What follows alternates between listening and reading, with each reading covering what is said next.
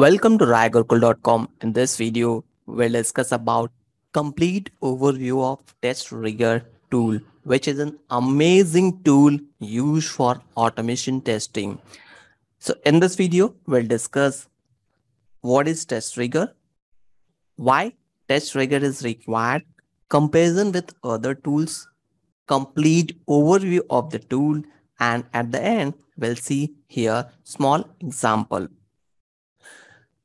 So let's begin with what is testRigor.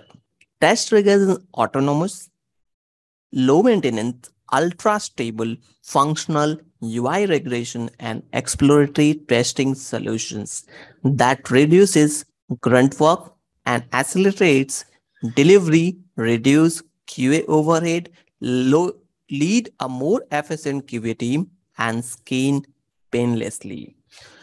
So one of the expert who said you will be paid in the future based on how well you automate your work by Jacob Morgan, one of the experts in automation domain. So when we are doing an automation testing, we need to have a proper environment, proper tool which will fix our need. Here we can automate our routine task which we are doing on regular basis. We are not an robot we can work on 24 by 7 but we can assign our work to any tool which is secured enough which will help us to provide complete solution for our testing needs. Let's say if we are doing a testing for any HRM application, which is having several number of steps. We are performing this regression again and again. For executing in a manual time, let's say if we are taking one month of time for single resource, then testRigor will help us to complete this execution within an hour. So how we can expect how much compatible this tool. So testRigor is a behavior driven autonomous and English based testing tool. I never seen any of the tools who is automating our stuff like simple plain English. This tool help us to automate our stuff single or plain English based testing tool. testRigor create ultra stable test in plain English emulating the way end user use our applications. Build test 15x faster with testRigor Chrome extension. Spend 0.5% of the time on test maintenance.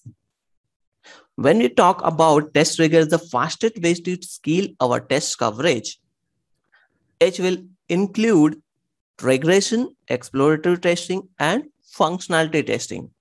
When we use testRigor, we'll have desktop version and mobile version also. When we want to test for the desktop based application, web based application, we can use it.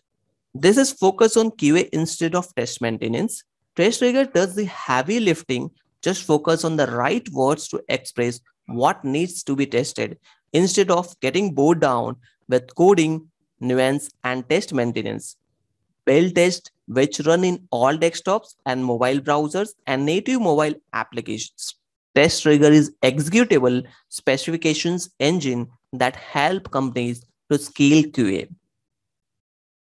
Then adapt to new functionality with ease means testRigor is the only platform that extract unique issues from all the tests that allows you to adapt to the new changes with a few clicks of a button and a few plain English word. When we talk about the customer reviews, there are several customers who use this tool and found it out very useful. So one of the major customer IDT has scaled the test coverage from 50% to 91% within under nine months. So let's understand why testRigor is required. Easy to use without any code. So you don't need to write a code actually. You have to just modify the test cases. whatever we have recorded. It's very simple enough tool to automate test creations, execution, and maintenance based on how users use our application in productions. All tests are codeless and easily customizable using plain English. Second is fast. Full rate test in less time. Create robust customized test in minutes versus days. So if you have n number of test cases to be automated, it will take few hours of your time. Third is ultra stable. Tests are super stable and would require almost no maintenance from your team test not break due to flaky infrastructure or DOM changes. Fourth is adaptable. Ability to easily adapt to application changes. Test will even survive UI framework changes. No more expensive QA engineering required because of the test rigor. There are several other components uh, when it comes to the cost, time. These are also going to be reduced when we are using test rigor inside our automation need. So when we talk about the comparison with other tools, let's compare with Selenium or Appium. So in Selenium, most of our resources are tied up with test maintenance instead of contributing to new coverage. When we talk about the Selenium, it will require coding knowledge. Either we can code in Java, Python, or several other language. But a test rigor will help us to improve 99.5% less test maintenance. Reallocate QA engineers to build API tests. When we talk about the Selenium, expensive QA engineering is required because QA or the member needs to know about the coding when they are working with Selenium. 30% test coverage on an average because of the maintenance burden it takes weeks to retest functionality or manual QA Connect contribute to automations. In the end, the test code still does not guarantee that we are delivering 100% scalability. 90% of the more test coverage in under a year will be covered by using test rigor, full retest in under 15 minutes, but it's totally up to the requirement to your requirement. Our manual QA people can create and maintain automated tests. Tests reflect the way our users use your applications. Now, let's jump to the example or the complete overview of the test rigor tool. You can see here, this is the website name where you have to log in. So first you need to take license version or the versions for your automation need and then you have to install this plugin or this extension. testRigor test keys recorder you have to install it from the google play store. Once you install it and enable this uh, extensions uh, you will able to see this icon should be enabled here. Post that you have to do the login with your login credentials. So i'm using here my own credential and do the login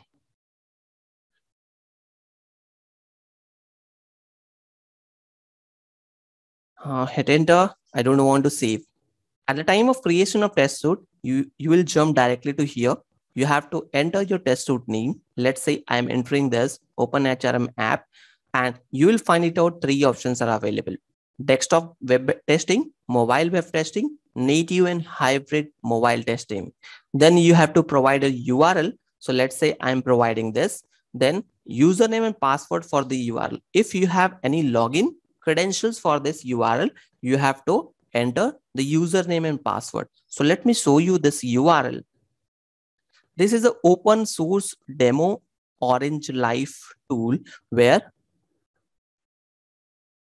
you'll find it out the login page. Now you can see this, you have to enter admin. So basically it will need to enter this credential inside our test code so that we don't need to write login page code or login page automation again and again. It will be auto configured. Now, post entering the detail, you have to select the operating system. OS Windows or OS X, then the browser in which browser you're using. And finally, generate tests automatically based on auto discovery. You can select any number of components. Post entering all these details, click on test suits. Now I have already created this test suite. Because of that, I'm not going forward to create it. I've already created test cases as well. So once you'll select your test suite, you will jump to this page where you'll find out all the test suits ran here in past. All these test cases are listed here. If you want to modify any of the test case, simply click on this arrow tab, click on edit test case, and you will find it out. Simple plain text, English language coding standard is available here. Change whatever required to be changed here and click on update and retest. This complete test case will be executed with result in screenshots so screenshot will also will be attached here in this section. Now we have error sections. Inside the error sections, whatever error will be populated, you can find it out here. When you want to see the reports, how many test suits are ran. So till now I have ran six test cases, discovered test cases one, succeeded test cases 5. So you can see the complete execution report, which is needed for the sharing with the top management or business team. Tree view is also there. You can find it of the complete tree view here. All runs, how many runs you have executed. You can find it out here. If you have defined any reusable rules, you can share with here. We'll see these components later in the time uh, let's understand the all these components which is available, how we can use it. Then if you have any test data, you can add your test data here or you can use it for the time. So default value for the discovery is also there where you can define all these default value for the discovery for your automation need. CI CD integration is also there. You can use it for our CI CD integration pipeline. In the setting tabs, you can define authentication, proxies, speed optimization. These all components are also there in setting tabs. So let's jump to the test cases where you'll find it out the filter options are also there. Let's say if you want to list out one of the failed test cases, you simply click on this and your failed test cases are listed here. If you want to see the all status, you can select all this. If you want to see all the test cases generated within the duration, you can select start and end duration and filter will be applied for you. If you want to search any of the um, components, you can find and replace from here. Now, when you will jump to the test cases, we have seen edit test cases. Apart of that, if you want to retest, simply click on retest and your test case execution will start whichever you have created in the past. Now you can see first screenshot is generated. Here you'll find the complete screenshot image in very attractive and which is very much clear. So let's close this and wait for the executions. Till the time it will run the test case, you will find it out the time here where it is showing estimated time left and whenever it proceed, it will generate the image of all the screenshots or whatever action it performed. Now you can see all these images are generated automatically. It's now get logged in and post that you'll find it out the complete execution detail. Let's you can see it still status is showing retesting. Once it is done, it will say okay or completed. Still testing. If you want to cancel any of the test case, you can simply click on uh, cancel retest. It will be canceled automatically. Now we are still running this test case. You can find it out. The test case is completed, which is showing status to be updated. It's not updated. Yeah. Now you can see status is okay. It means your test case is passed with green color. If your test case will fail, it will highlight with red color. And here you'll find the three tabs again enabled. If you want to delete this test case, simply click on delete and your test case will be deleted for your from your test case repository. Now coming down to the adding custom test case, click on this If you want to add any custom test case, click on descriptions, add all these custom steps and click on add and run.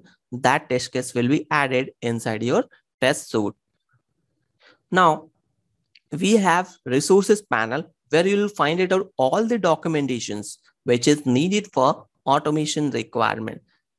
If you want to perform click actions, there are different options are there with simple line of plain English language. Like if you want to click on card, you have to enter click and in between the code, you have to define card informations. Generating, enter all these keywords, which is required for automating your stuff. You'll find it out all these keywords in detail. In further part of the video, we'll see, or the, in the next video, we'll see all of the content one by one for automating our required component. This complete description document is available here, which will help you to perform your automation.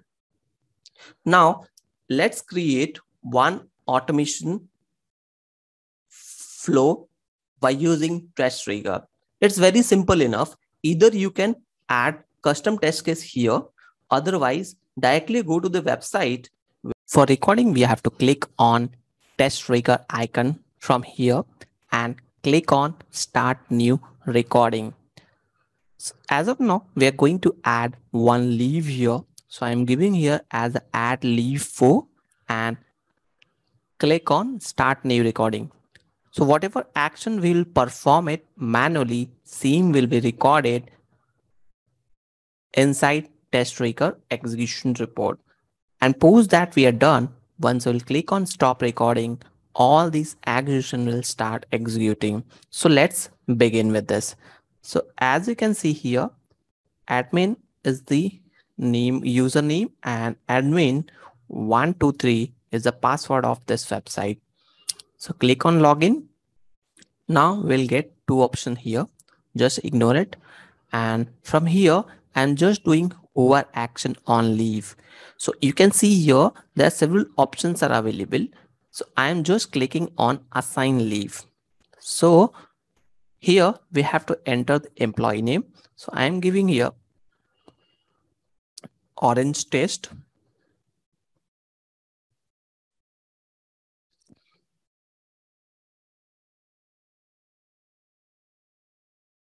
Test. And then leave type I'm giving here as a personal leave. So you can see leave balance is not available here. I want to just enter one day leave for this. So start and end date should be same and full day leave I'm applying. So in comment section, I'm adding any. When I will click on OK, it will throw in a pop-up message that the no sufficient leave balance is available for that person. So I will click on OK and it will give fail to assign. So it will overlapping leave request found. We have already requested for this person. So here we will just verify fail to apply message or we will have to verify these actions. Now we are done with the steps. Let's stop the recording and you will find it out all these steps we have which we have performed is recorded here. Here we have added three steps here. So I don't want to be here because we have already defined in test suite. So I'm going to just enter a login here and be, before click assign leave, we need to have hover action on leave section. So you can see here leave so as it is, we have to write the same thing into double quotes. Now enter orange test into employee name. So I am giving here as a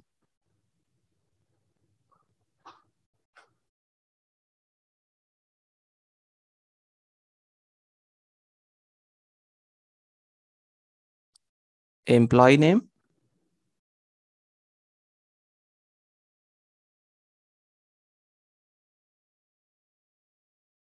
I don't want this one. So I will, I will remove this. Then I don't want this as well. Select leave type. I am giving here cancel personal leave, CAN person from type. So suppose that at the time of entering the date, we can enter while clicking from the calendar or we can add, enter detail like, like we can see here the date format. So 2021, that is EO, then 08, and then 16 into from date and we'll remove this section. Now we can find it out same thing in the uh, to date as well. So let's keep this same format here as well. Enter 16 same into to date. So we'll change here to date. Now we are done for the entering the date as well. And we'll remove it, these two lines. You can see a very simple enough. We are entering any comment, click on assign, click on OK, and we'll check, check page contains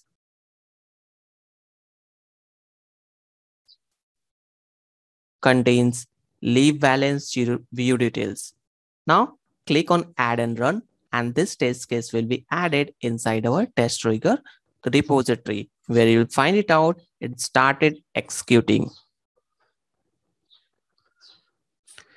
It will take few minutes of for execution and whenever it will start running, this will generate a screenshot.